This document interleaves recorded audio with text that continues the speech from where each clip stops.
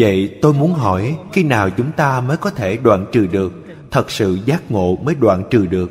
Ngày nay chúng ta tuy có nghe, nhưng khi nghe không có ngộ. Cho nên vẫn thuận theo tập khí phiền não của bản thân.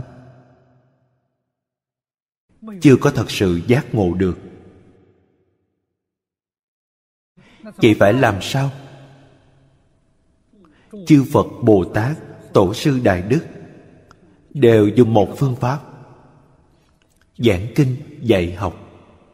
Cho nên thường nói, quý vị vì sao chuyển không được, vì sao không ngộ, vì nghe pháp quá ít. Nghe kinh không đủ.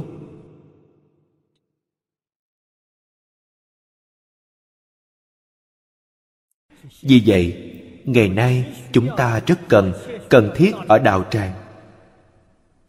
Chính là trong 24 giờ không ngừng tụng kinh 24 giờ không ngừng niệm Phật. Nơi nào có đạo tràng như vậy xuất hiện Chúng sanh nơi đó thật có phước Chúng sanh nơi đó không có tai nạn.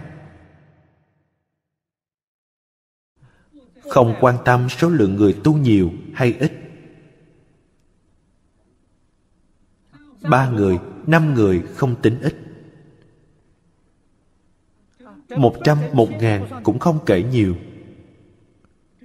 Thật sự giác ngộ Thật sự quay đầu Thật sự làm được. 24 giờ giảng kinh không gián đoạn. Chúng ta có thể dùng băng đĩa. Có thể làm được. Ngay cả quỷ thần cũng nghe băng đĩa. Chúng ta mới biết băng đĩa giảng kinh được.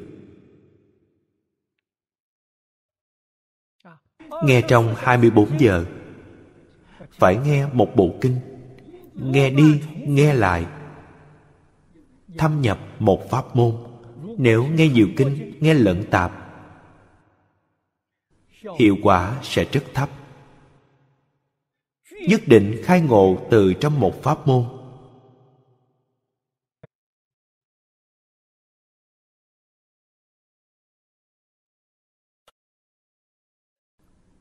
Nếu nghe một thứ giống nhau, có vài người có căn tính này. Một thứ giống nhau nghe nhiều lần, họ nghe nhiều sẽ chán, cần phải đổi khẩu vị. Có thể làm như vậy không? Cũng có thể. Thời xưa, mỗi vị tổ tương truyền dạy cho chúng ta, chỉ nghe một vị một vị giảng rất nhiều kinh, nhưng họ tuyệt đối chỉ theo một phương hướng, theo một mục tiêu, chỉ cho quý vị một con đường. Không nên nghe hai người. Điều này rất quan trọng. Tôi học giáo lý, thầy dạy chúng tôi tư tưởng của một nhà, một trường phái. Tôi học theo đại sư liên trì đại sư ngẫu ích cũng học theo đại sư liên trì, chuyên đọc tác phẩm của đại sư liên trì. Những gì ngài viết rất nhiều, có hai mươi, ba mươi loại. Nhưng chỉ một người giảng. Tác phẩm của một người nhất định một phương hướng, một mục tiêu được quý vị theo một vị thầy. Nếu quý vị lại tìm thêm những vị thầy khác nữa cách nhìn, cách nghĩ của họ khác nhau sẽ làm cho quý vị loạn lên. Đây gọi là sư thừa.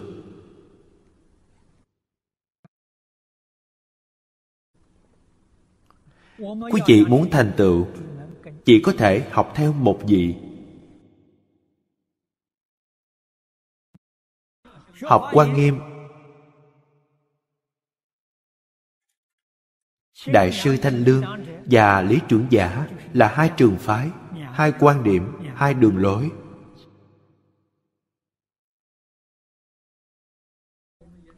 Chúng ta cũng chỉ nên tìm hiểu một gì thôi, học theo đại sư thanh lương. Nhưng trước đời nhà thanh, đây là năm khang hy thiền sư đại bái ở cổ sơn, phúc châu. Ngài viết một cuốn toản yếu. Ngài gộp sớ sao và hợp luận lại với nhau. Việc này rất kỳ lạ. Lúc đó tôi cầm cuốn toản yếu. Đi gặp cư sĩ lý bỉnh nam. Cư sĩ lý vừa xem, điều này không dễ. Hai con đường sau thiền sư đại bái lại gộp lại với nhau quý vị lại quan sát một cách tỉ mỉ. Thiền sư, đạo bái thật sự tương đối có trí tuệ. Ngài lấy tư tưởng của đại sư thanh lương làm chủ. Lấy tư tưởng của lý trưởng giả làm phụ. Vẫn là một con đường.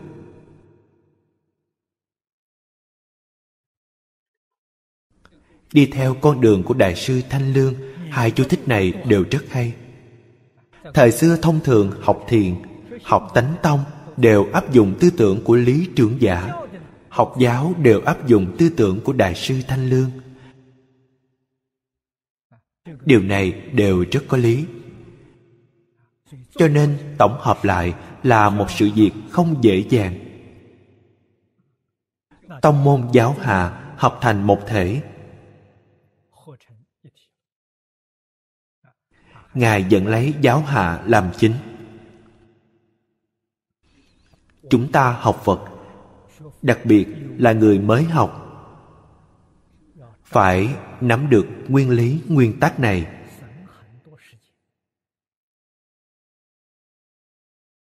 Tiết kiệm được rất nhiều thời gian, sẽ không đi sai đường, không lãng phí nhiều thời gian quý báu. Trong thời gian ngắn quý vị có thể nhìn thấy được thành tích. Nhất định phải hiểu được điều này.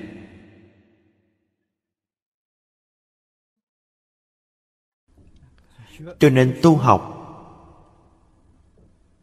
không những phật pháp mà thế pháp cũng không ngoại lệ. Sư thừa rất quan trọng. Tuy nhiên ngày nay sư thừa không còn nữa, không còn nhìn thấy nếu không bắt tay từ chỗ này, muốn thành tựu quả thật rất khó. Ngày nay, chúng ta phải làm sao? Tìm người xưa.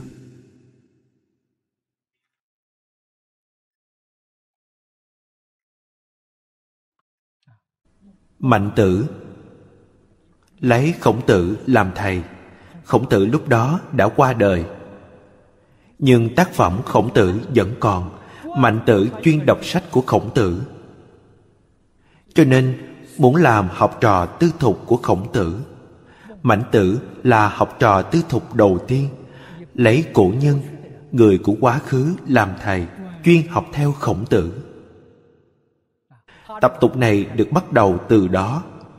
Trong lịch sử trung quốc, có rất nhiều người dùng phương pháp này mà thành tựu giống như tư mã thiên ở thời hán. Ông ta học khổng khâu minh. Khổng khâu minh là người cùng thời đại với khổng tử. Tác phẩm của khổng khâu minh là xuân thu tả truyện. Ông ta học như vậy thâm nhập một môn.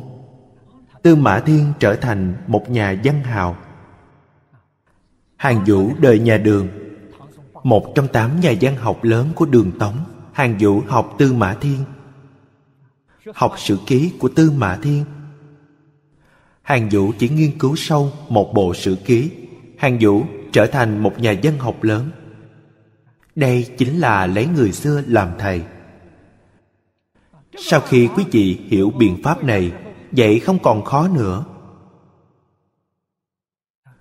Trong những người thời xưa tìm một vị thầy, tôi giới thiệu cho quý vị đồng tu đó là phật a di đà phật a di đà ở đâu?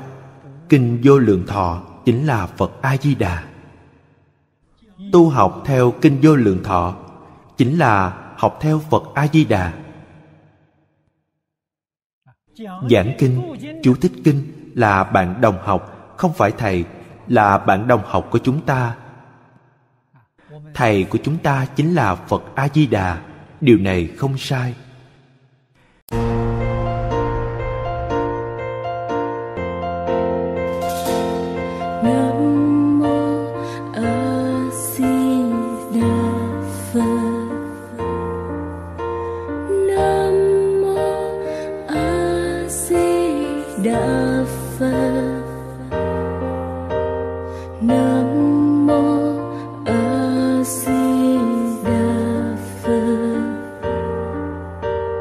Nặng